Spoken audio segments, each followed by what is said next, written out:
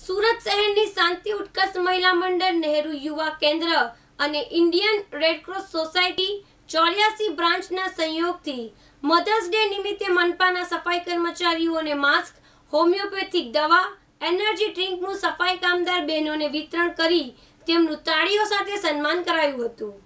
સુરત શહેરની જાણીતી સંસ્થા શાંતિ ઉત્કર્ષ મહિલા મંડળ, નહેરુ યુવા કેન્દ્ર, સુરત અને Indian red cross society Choryasi taluka branch સંયોગથી mother day એટલે માતાનો ઋણ સ્વીકારવાનો દિવસ નિમિત્તે સુરત મ્યુનિસિપાલમાં કામ કરતા સફાઈ કર્મચારીઓ, જેઓ પોતાના ફરજના ભાગરૂપે દિવસ રાત શહેરને ચોખ્ખું રાખીને રોગમુક્ત તેમજ કોરોના મુક્ત બનાવી રહ્યા છે. આવા કર્મચારીઓ સાચા અર્થમાં કહીએ તો માતાની ભૂમિકા ભજવી રહ્યા છે. તેઓની કાળજી રાખવી એ આપણા સૌની ફરજ છે. તેવું માની સુરત શહેરના હોમગાર્ડ્સ કમાન્ડર સાથે રેડ ક્રોસ બ્રાન્ચ સુરતના પ્રમુખ ડોક્ટર પ્રફુલભાઈ પાનસેરિયા નહેરુ યુવા કેન્દ્ર સુરતના સંયોજક સચિન શર્મા યુથ રેડ ક્રોસના ડોક્ટર કોમલ દેસાઈ તેમજ રંગ અવધૂત સોસાયટીના રહીશો દ્વારા માસ્ક, હોમિયોપેથિક દવા, મલ્ટીવિટામિન યુક્ત એનર્જી ડ્રિંક સફાઈ કામદાર મહિલાઓને આપી તેઓનું તાળી પાડીને સન્માન વધારવામાં આવ્યું હતું. આ પહેલાં પણ સોસાયટીમાંથી કચરો એકત્રિત કરતા કર્મચારીઓનું ફૂલથી સ્વાગત કરીને આર્થિક સહયોગ પણ આપવામાં આવ્યો હતો. વરાછા ઝોન વિભાગમાં આવેલ